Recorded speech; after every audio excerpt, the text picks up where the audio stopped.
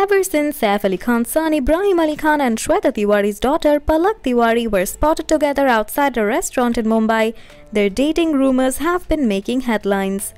While there is no confirmation regarding their relationship, a report in Bollywood Life claims that the two star kids are just good friends.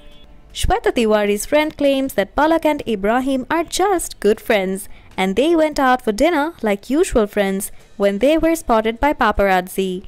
Palak is a private person who does not want her personal life to be out and that's why she was hiding her face.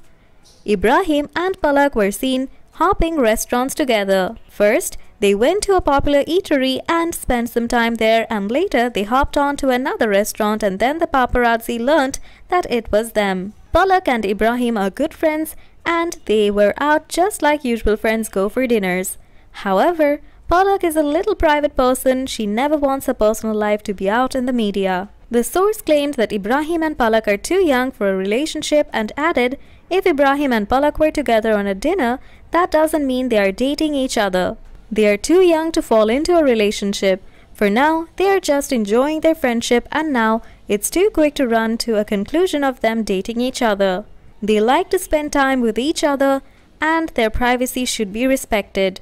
Meanwhile, Palak Tiwari rose to fame after she featured in Harrdy Sandhu's song Bijli Bijli.